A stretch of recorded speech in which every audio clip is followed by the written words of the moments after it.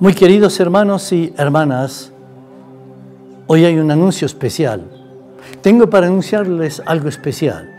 ¿Sabes qué es? Pues que comenzamos Adviento, que hoy es el primer domingo de Adviento. Y Adviento quiere decir el que llega. O sea, es el tiempo de preparación al bellísimo espacio de la Navidad. Por eso entonces nos acompaña la corona de Adviento, que nos habla precisamente del reverdecer, nos habla precisamente de la esperanza. Vamos a recibir entonces el bellísimo Evangelio para el día de hoy. Del Evangelio de San Lucas capítulo 21, de los versículos 25 a 36. En aquel tiempo Jesús dijo a sus discípulos, habrá señales prodigiosas en el sol, en la luna, en las estrellas. En la tierra las naciones se llenarán de angustia y de miedo por el estruendo de las olas del mar. La gente se morirá de terror y de angustiosa espera por las cosas que vendrán sobre el mundo, pues hasta las estrellas se bambolearán. Entonces verán venir al Hijo del Hombre en una nube con gran poder y majestad. Cuando estas cosas comiencen, pongan atención, levanten la cabeza, porque se acerca la hora de su liberación.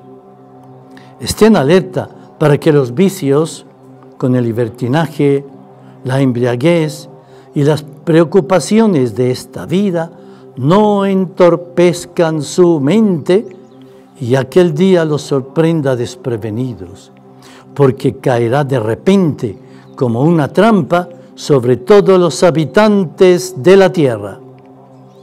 Velen pues y hagan oración continuamente para que puedan escapar de todo lo que ha de suceder y comparecer seguros ante el Hijo del Hombre.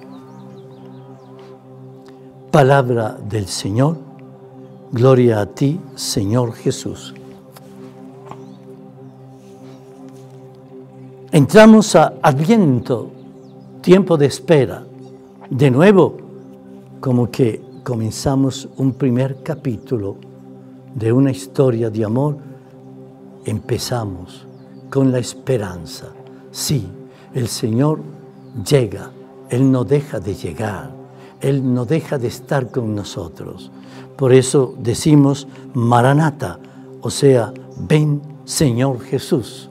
Es la manera de estar en vela, es la manera de estar en plena espera, es estar entonces en ese momento de mirar la llegada del Señor, es esperarlo siempre y estar alerta, así como un perrillo está lo acabamos de escuchar, pendiente de quién asoma, de quién llega, pues que nosotros estemos pendientes porque llega el Señor y por eso empezamos con la corona de Adviento a encender la luz de nuestra esperanza. Pues, ¿quién viene? El Señor. ¿De dónde viene? Pues del Padre del cielo. ¿Y a dónde viene? A nuestro mundo, a tu corazón, a nuestro corazón. Que el Señor nos bendiga en este nuevo Adviento, en el nombre del Padre, y del Hijo y del Espíritu Santo. Amén.